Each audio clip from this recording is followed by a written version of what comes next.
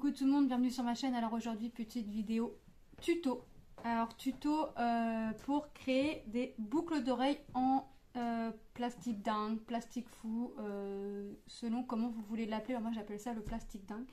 Alors pour celles et ceux qui ne connaissent pas, alors c'est une feuille transparente. On peut les avoir colorées, toutes blanches. Voilà. Donc c'est une feuille qui se présente comme ça, avec un côté, vous voyez, brillant et un côté rugueux. Donc c'est ce côté-là que nous, on va se servir pour dessiner, colorer, faire votre création. Nous, on se sert de ce côté-là. Donc vous voyez la taille de la feuille, c'est une feuille A4 normale. Moi ensuite, euh, ce, que je vais, ce que je fais, c'est je fais mon motif dessus. Alors soit je le décalque, soit je le fais à main levée. En général, euh, là ce que j'ai choisi, je vais faire deux modèles avec vous. Les modèles sont déjà prêts, sont déjà cuits, parce que ça se fait cuire. Parce que vous voyez là l'épaisseur de la feuille, c'est aussi fin qu'une feuille euh, A4, sauf que bah, voilà, ça fait, c'est du plastique. Voilà. Donc et euh, donc ça c'est une feuille. Voilà. Moi je prends transparent puisque j'aime bien faire mes motifs. J'aime bien moi mettre ma couleur. J'aime bien. Je décalque mes motifs en fait. Ça m'arrive de les faire à main levée, mais quand je décalque mes motifs, il est vrai que au moins je vois mon dessin à travers. Donc j'ai pas mal de petits motifs. Donc par exemple, vous voyez, je mets mon petit motif et voilà. Donc par exemple, moi j'ai fait le petit renard ici. Vous voyez? Donc je l'ai mis. Alors j'essaie toujours de faire en sorte de perdre le moins de feuilles possible puisque euh, j'ai payé les 30 feuilles 25 euros. Donc j'essaie quand même de gâcher le moins de feuilles possible. Donc voilà, on a des kits, hein. on peut avoir des kits euh, avec déjà des motifs à l'intérieur et il n'y a que 2-3 feuilles par contre pour faire des porte-clés, des colliers, des sautoirs, voilà. Donc là, on vous, allez, vous avez la taille réelle du dessin. Donc moi, quand j'ai fait mon dessin, mon dessin ressemblait à ça. Donc de cette taille-là. Et le voici maintenant une fois cuit. Vous voyez? Donc, je vais vous remettre le dessin à côté pour que vous puissiez voir. Puissiez voir. Donc, je vais plier ma feuille un petit peu. Voilà. Et le dessin en taille réelle et le dessin une fois cuit. Donc on le met à 150 degrés pendant environ 6 minutes. Il faut toujours surveiller. Votre plastique, vous allez voir, quand vous allez le mettre dans votre four, c'est toujours impressionnant la première fois. Moi, je regarde plus maintenant, mais c'est vrai que la première fois j'ai regardé, le plastique va se tordre dans tous les sens. Il va se coller d'un bout à l'autre. Il va, vraiment prendre des formes, mais vraiment bizarres. Et vous allez vous dire, ma création est foutue. Ça colle d'une partie du haut en bas et du côté. Enfin, ça se colle tout le temps entre, eux.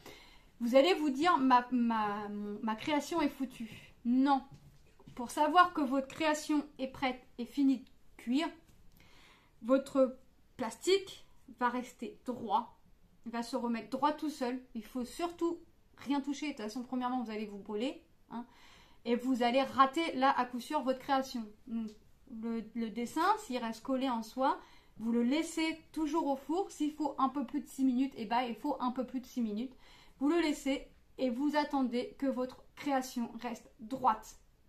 Il ne deviendra pas plus petit que ça, donc pas plus petit de ce qu'il voudrait qu'il pourrait devenir. Et l'avantage d'avec ça, c'est que vous pouvez vraiment faire de tout. Là, aujourd'hui, on va créer des boucles d'oreilles. Mais moi, avec ça, j'ai déjà créé. J'ai déjà créé des boucles d'oreilles. Hein. J'en ai déjà fait. J'ai déjà créé des colliers aussi. J'ai déjà créé des porte-clés. J'ai déjà créé des marque-pages.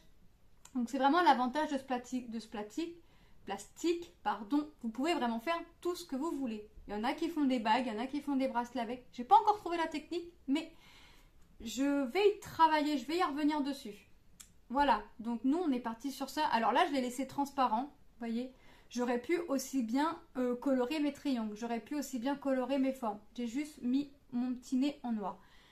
J'ai voulu le laisser comme ça. J'aurais pu faire mes traits d'une autre couleur. Quel matériel utiliser sur ça? Tous mes traits noirs sont faits au marqueur indélébile, au marqueur stabilo indélébile, mine fine. Maintenant, j'ai déjà essayé le crayon de couleur. Sauf que quand votre création est finie, cuit et refroidi, il faut mettre Alors moi j'ai pris de la, de la laque version brillante, mais il faut mettre du vernis. J'ai voulu faire des crayons au crayon de couleur. Très contente. J'ai pris des aqua couleurs. Sauf que quand j'ai découpé cuit et qu'on a voulu mettre ça, mes yeux, enfin j'avais fait des, ampoules avec des lunettes, euh, des petits trucs euh, rigolos. Ma couleur de mes lunettes a bavé sur la couleur de mon ampoule. C'était cuit. J'ai laissé 24 heures à froid. Donc je l'ai cuit, j'ai laissé 24 heures. Donc ça a bavé. Donc je ne prends plus ça. Maintenant, je vais vous montrer aussi, j'ai fait les petits renards, mais j'ai créé ça. Voilà, des petites mini. voyez Donc la taille de la mini, alors là c'est plus pour un adulte. Hein. Il y a des adultes qui aiment Disney. Moi je suis une adulte et j'aime Disney. Et ça ne me dérangerait pas de les porter. Vous voyez La taille réelle et la taille que ça a fait à la fin. Maintenant, pour les enfants, ma fille en a demandé une paire, donc je vais en faire une pour ma fille. Je prendrai ce motif-là. Donc ça va être tout rikiki. Donc quand je vais faire pour ma fille, je mettrai une petite perle ou une petite breloque avec. Donc voilà, je vous ai tout expliqué sur le plastique dingue. Maintenant, on va passer au montage et vous allez voir que c'est très simple. Hop. Donc, je prends toujours deux pinces. Bon. Il va me falloir bah, forcément mes mes petits appâts. Il va me falloir des petits anneaux. Voilà. Des petits anneaux. Et il va me falloir forcément mes petits crochets. Donc les boucles d'oreilles que vous pouvez voir ici, c'est moi qui les ai créées. Je porte mes créations. Voilà. Donc on va passer. Donc pour commencer, alors je vais vous baisser un petit peu. Voilà. Je vais écarter un petit peu mon anneau. Hop. Hop, s'il veut bien tenir. Voilà. Alors je vais prendre ma pince là, je vais prendre ma pince à bourron. Voilà, j'écarte un petit peu, je passe mon appât. Je passe mon petit appât, voyez. Et je viens mettre ici mon crochet. Hop, je reprends ma pince pour maintenir mon anneau.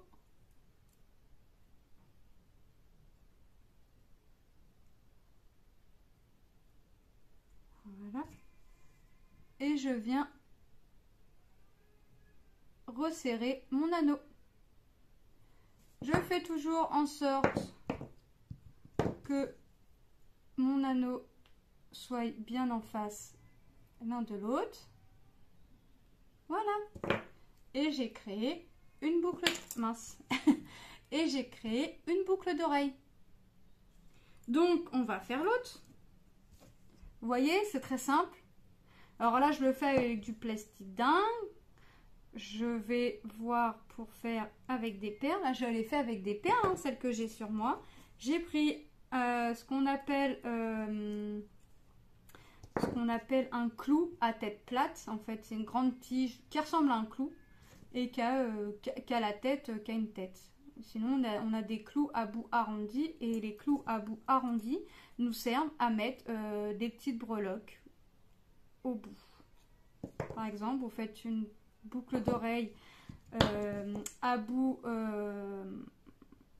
mince. À bout euh, vous prenez un clou à bout arrondi vous mettez des perles et au bout de votre bout arrondi vous mettez une petite breloque ou vous mettez un petit pompon que vous avez créé vous-même avec du fil de coton DMC vous voyez c'est vraiment à vos envies de création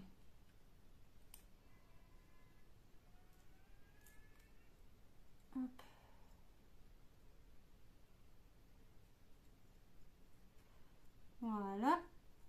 Alors là, je mets mon anneau bien face à face. Voilà. Et on a créé une paire de boucles d'oreilles. Voilà. Donc là, on a, nous avons créé une paire. On va faire les deux mini. Donc là, je vais écarter mes deux anneaux tout de suite. Je vais les préparer là tout de suite. Euh, je vais peut-être mettre ma feuille comme ça à l'envers pour qu'on puisse mieux voir. Ah, ma feuille en plastique est tombée. Alors, surtout, oui, j'ai fait moi mes trous. Hein. faut surtout, pour faire les, trous, là, sur les... Je vous ai pas dit, mais il faut les faire avant cuisson. Il faut les faire avant cuisson et pas très au bord, pas trop au bord euh, de votre motif, puisque sinon votre trou à la cuisson euh, va s'éclater. Vous, allez, vous allez pouvoir rien en faire. Donc euh, moi je prépare tout de suite mes anneaux. Voilà, mon crochet. Oh, j'ai pas visé. Hop. Et vous voyez, on va refaire une autre paire de boucles d'oreilles bien sympathique. Hop. Alors, c'est mon premier tuto. Vous pourrez me dire ce que vous en avez pensé. N'hésitez pas à me dire si vous avez aimé mon petit tuto ou pas. Ah, j'ai pas assez serré. Mon crochet est parti. Voilà. Et là, je viens serrer.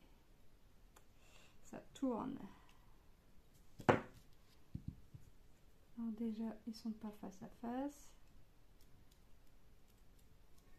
Alors mes crochets, moi je les achète euh, chez Cultura puisque je prends des crochets euh, sans euh, nickel au moins pour les personnes allergiques, c'est mieux.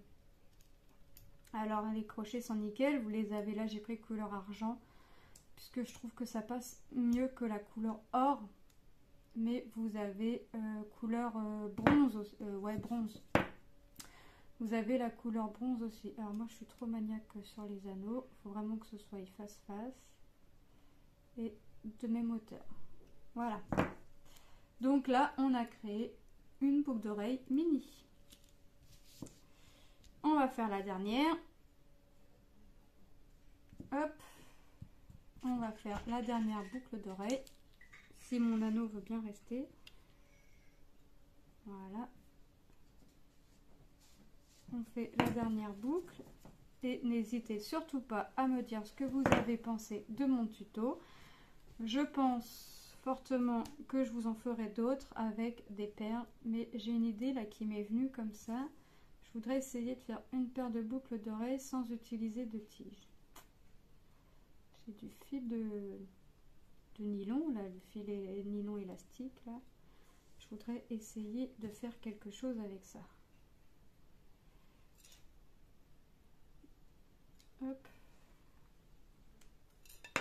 Bon, bah, tout est parti de ma boucle. On recommence.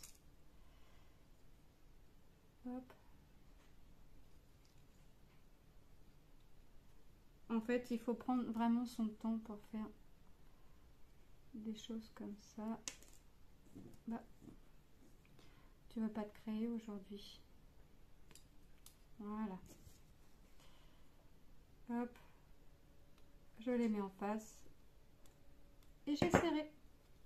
Et nous avons